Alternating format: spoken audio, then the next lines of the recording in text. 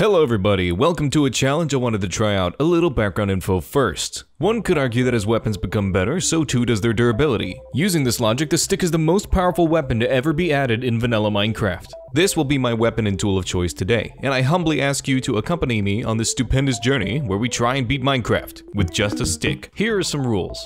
I can only use this stick as my main tool and weapon aside from shears for leaves, and any TNT I find is fine too.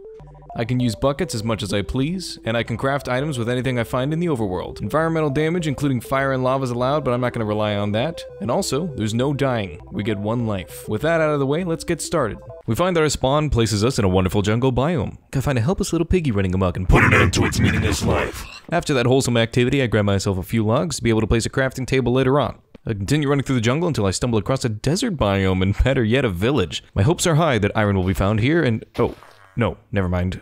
Bread is good too, that'll work for now. I grab myself some flint for flint and steel later on and smell some cows over yonder. I put an end to this lineage and continue about my day. It got dark outside and I got a little scared, so I made a boat to keep me company and rode along the river until a skelly boy was just downstream. I quickly got out and took a power nap to ease my anxiety and continued rowing right past him. He wasn't a very good shot, don't know why I was so scared. Found myself at an ocean and noticed a dolphin boy swimming below. I gave him some nummies and he led me to the remains of a cruise ship gone wrong. I looted the sunken vessel and obtained some iron. Then I made myself a bucket and a hat and took off to find the buried treasure. I managed to dig it up on my first try to get a whole bunch of goodies. These gold ingots will be useful for getting ender pearls from piglins when we head to the nether. I made myself some tummy protection with my newfound metal bricks and oh, would you look at that, another shipwreck. After looting the forgotten trinkets of the dead, I went searching for the next buried treasure, which I totally didn't find on my first try this time, and got myself more gold and iron for the journey. I made myself some uncomfortable metal pants and continued towards a village I saw in the distance. After raiding the entire village, I only found bread and cactus, a disappointment to be sure, but I saw yet another village nearby. Really quickly, I found a temple nearby too and decided to check that out real quick. I managed to find a golden apple, some more gold ingots, and a couple diamonds. Finding nothing but garbage in the new village made me sleepy. So I decided to take a nap in a sandy cave nearby until morning. I saw another village and made my way towards it. I managed to find tons of good loot, and I'm just kidding, there's just more bread and more cactus! After doing some field yoga to calm my nerves, I went into the ocean again and stumbled across yet another sunken cruise ship. Trust me, these are definitely cruise ships and not normal ships, I can tell. This one had a buttload more iron in it, but that's about it. The real treasure was yet to be unearthed, and oh boy was it unearthed. We struck the motherload in this one. I was walking along the coast and spotted yet another sinky boy. I looted that wreck and got away with even more ingots and a wallet full of emeralds. I dug up the treasure and, well, you know the drill now, let's skip ahead. I finally found a surface pool of lava and this skelly boy just wasn't having it. I decided to slowly yet mercilessly beat him to death with my stick. Then this zombie tried to get in on the fun and I just bumped him into the spicy water and he went away. I slept until morning and built myself the nether portal using this pro speedrunner strat, which is the only thing that makes this run even possible. I hopped inside and this is where the run starts getting difficult. Within Hades' domain, we stumbled across some piglin traders, of which would have definitely killed me had I not distracted them with shiny rectangles. I managed to get four ender pearls and a whole lot of nothing else. I need some blaze rods to turn these ender pearls into eyes of ender and actually progress, so I set out for another fortress. And after quite a bit of walking and jumping over a sea of lava, I found one. This wither skeleton gave me a huge heart attack, but luckily he didn't touch me. I then began to slowly but surely whittle down blazes using my cheap tactic of footsie until I felt that I got enough blaze rod. Then I was super scared of staying in hell for too long, so I went ahead and went back to the overworld. Back in the overworld, I found another village. Unfortunately for me, their chests contained nothing more than disappointment. After buying some comfort food to make me feel better, I decided to start converting these pearls into eyes to find the stronghold. After running for what felt like miles, I decided to hunker down and hunt Endermen at night. After searching for Endermen almost all night, I found some at this village here. I made my cheese roof and began bashing at his cankles. In due time, I was rewarded with one precious ender pearl. I kept trying to locate the stronghold and I think I got pretty close, but I ran out of eyes. I decided to wait until nighttime to hunt more Endermen, so here's a cool time lapse. I noticed I had an ender pearl on me already and used it to finally locate the stronghold. After spending a few days mining through the stone with my trusty stick, I broke through into the beast lair. A friendly little creeper greeted me upon my entrance. After wasting 25 minutes searching for the end portal frame, we finally found it. Unfortunately, I was 10 ender eyes short of even activating the damn thing. I decided to tunnel upwards to create a sort of beacon in the sky to remind myself of where it's located. Then I journeyed back down and created another nether portal in the stronghold. It was time to get more ender pearls, and the best way I knew how was to visit the warped forest biome and struggle for a solid 45 minutes to get enough pearls. I nearly died many times, but thanks to my constant supply of bread, I managed to stave death off until I could obtain the holy 10 ender pearls.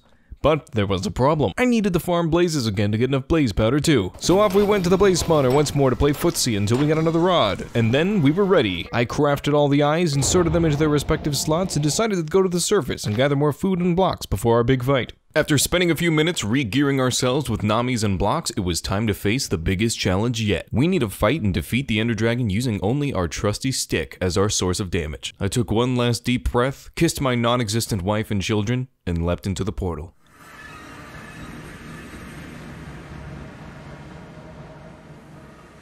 I instantly made a beeline for the first obsidian tower in front of me.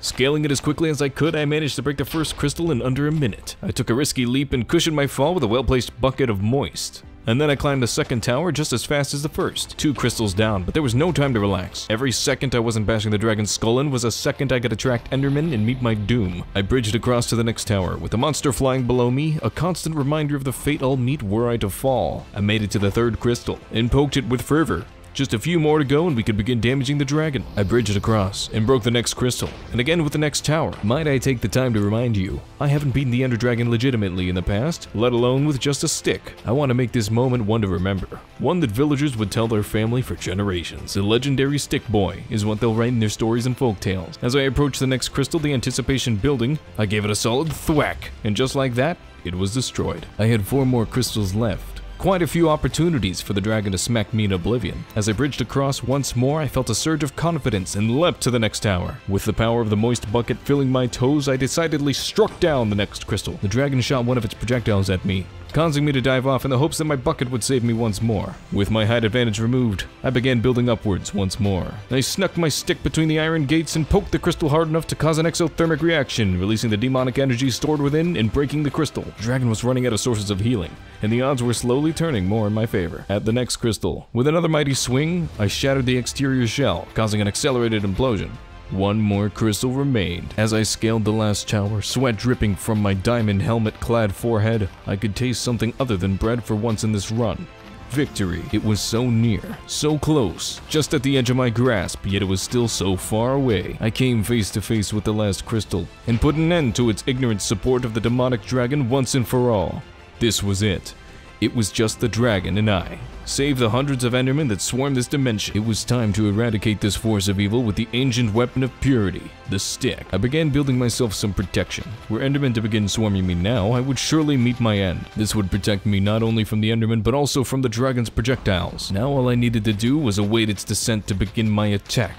But look, it's landing right now. Now was my chance to put on display the true power of nature. So anyways, I started blasting and bashing the dragon with my stick. I managed to damage it greatly, for it never foresaw the weapon that I would be bringing into its domain today.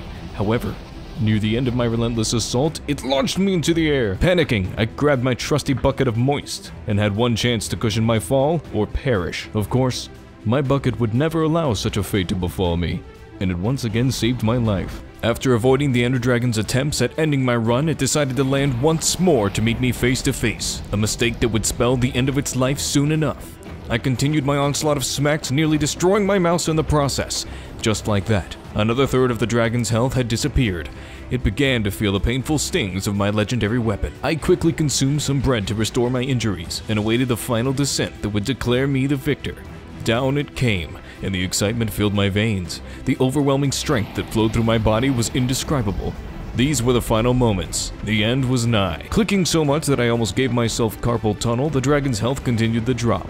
I can only assume that I've damaged it so badly that it was unable to flee, and the last moments of its life began to play out in slow motion. With one last attack from my stick, the beast fell. We won. We beat Minecraft with a stick.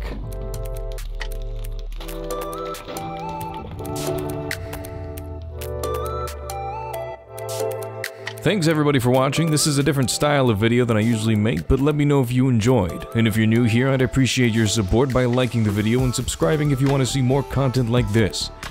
Make sure to join the Discord server if you haven't already, we're planning on expanding that and getting our own Minecraft server running soon enough, where we can all hang out and play together.